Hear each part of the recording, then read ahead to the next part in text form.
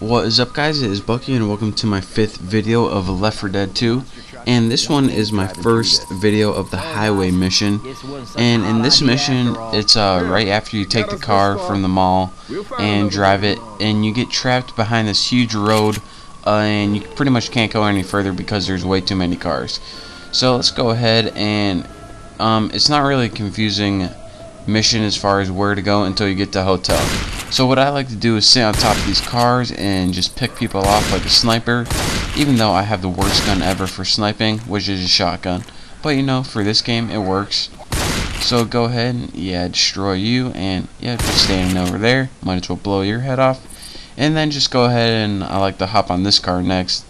And now you can pick off the next set of people, if they are called people, or infected, I dare call them. So there we go, destroy these people right here, and I'm good. So now what I need to do is go ahead and this side of the road is blocked, so I need to get over to the other side of the road. So clear a path over there, and where are my teammates to help me? Seriously. So let's go ahead, and this is why I like playing with real people, because they just scatter around like uh, leaves, have no strategy whatsoever, much more exciting. These people are organized and smart, and oh, oh good, a charger. Uh, I obviously moved out of the way, but he obviously bashed my head in anyways. What kind of crap is that? And uh, I just, just thought he'd probably be a really good football player, but instead he has to get infected and charge me. It's really flipping annoying. So anyways, go ahead and by this bus. This is where you cut over. And over there, by that big old, I don't know, white truck, is an off-ramp that we have to go down. So go ahead and pick off these people because, you know, they don't mind you shooting them in the head. And that guy right there. And now go ahead and kill these last few people and should I shoot that gas tank? Yes, never miss opportunity to shoot a gas tank. And I hear a boomer somewhere, so let me go ahead and find them. And I better get this kill because I love shooting boomers. And Nick always kills them. Let's see if I can find him. Oh, there it is. Oh yeah, Nick didn't kill that one, did you?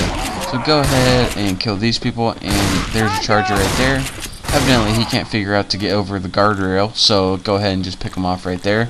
I'm saying pick him off a lot in this tutorial. I don't know why. Maybe because uh, I watched the Super Bowl yesterday, and, and I was talking about picks. Anyways, and look at all these people. Who slaughtered these people? I don't know. Definitely not me or anyone on my team. There are like 800 people just lying in the off-ramp. Oh well. So go ahead and pick up this needle and ammo. You know what? Another thing I just noticed. Why do you always have to pick up like needles and pills and like Molotov cocktails? This is uh, not a very good game. It makes you think that you're all crackheads and alcoholics, but you know what? Fine with me. As long as they don't have you pick up uh, bags of cocaine and uh, bowls, then you should be good. So there's a hunter right there, and I probably want to kill him, and I will, trust me. So, there he is right there. Bam, newboston kill Hunter. Thank you very much.